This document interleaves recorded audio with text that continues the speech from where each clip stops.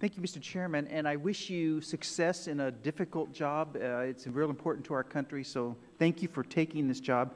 And I do have to bring up several difficult issues given this opportunity I have to talk with you.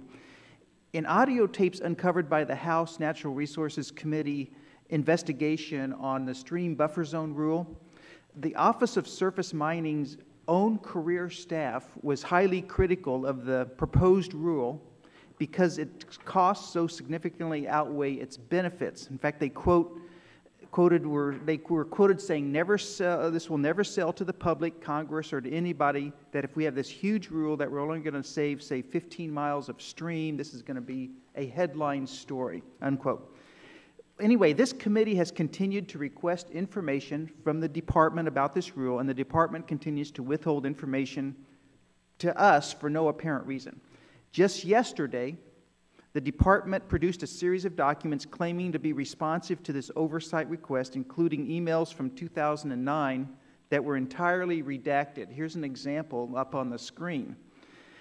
And it took the department five months to produce these emails, which are five years old. And I just am very disappointed about the department's lack of responsiveness. I know you've just gotten there, but do you do you condone this lack of responsiveness, and, and will you tell them to be more responsive, hopefully? Congressman, I, as I said to the chairman, I'm, I'm, committed to being responsive on requests and also working with this committee, hopefully outside of the need for requests, to understand what your concerns are and to address those concerns without doing it back and forth uh, uh, through FOIA requests. Um, I, I, know that there are legal issues, there are individual names, there are things that uh, uh are, are not appropriate to provide in written form. What we want to do is get to the bottom of issues that are of concern to this committee. And, and with regard to the stream buffer zone rule, I know that uh, the, the, team is working diligently on coming up with a, a, way to both protect the resources and provide uh, clarity to the industry. So um, uh, we'll be publishing the rule once we've had all those inputs and to the extent that uh, there's additional information that, that we can provide that's helpful, we'll be happy to do so. Well, I know there can be legitimate reasons for not disclosing certain isolated facts, but I, I hope that we don't see any cover up just because things aren't going well and there's been some uh, poor management. That is certainly not my intent. Okay, thank you. Changing the subject, uh, last year's fire season burned a total of 9.3 million acres, including the Waldo Canyon fire in my district that destroyed 347 homes and killed two people. Also, this year there's been the Black Forest fire in my district that claimed uh, two lives and destroyed about 500 homes. However, the administration's budget proposed cutting hazardous fuels reduction funding by 37 percent.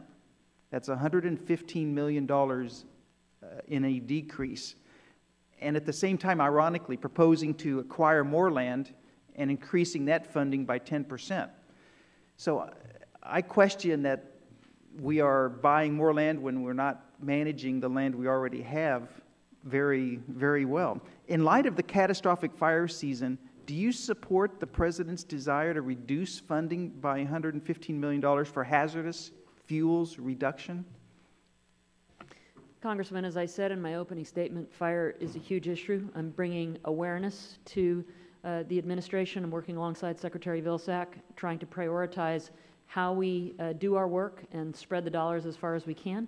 Um, and I'm making the administration aware of those things. I think that as, as uh, my colleague Jim Douglas, I think was before this committee, explaining some of our work around fire, um, it is very important that we raise awareness as we make hard decisions around the budget. And uh, there have been many hard decisions made that uh, I think nobody's going to be happy with as we try and, um, and, and, and bring the budget uh, down. So, um, you know, I'm, I'm going to, as I influence the first budget, I'll have an opportunity to be involved with, which is 2015. I'm certainly talking about these issues.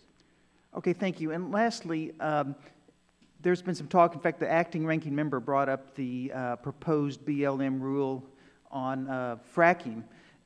The states are already doing a good job of that. And some, some people around here talk about science, and you're a, an engineer. So you know that the hydrology and geology of every state is not the same. I mean, Alaska is not the same as Hawaii, for instance. Why not let the states who know their own hydrology and geology better do their own regulation instead of a one-size-fits-all imposed fiat uh, bureaucratic mandate from Washington. Why not let the states do it, do, do what they're already doing a good job for? Mr. Chairman, can I just take a You, you 10 can, seconds to respond? very, very briefly, thank you. Okay, will do. Um, As an engineer, I understand fracking, and I understand that there are baseline standards that apply no matter the hydrology, wellbore integrity, flowback fluids, and uh, what is in the, the fluids themselves. Colorado does a nice job, uh, Wyoming does a nice job. If the standards of the states meet or exceed the federal standards, we are fully supportive of state or tribal standards. But, but some states do not have regulations and technologies moving into those states. So we're talking about baseline minimum standards on federal lands. I thank the gentleman.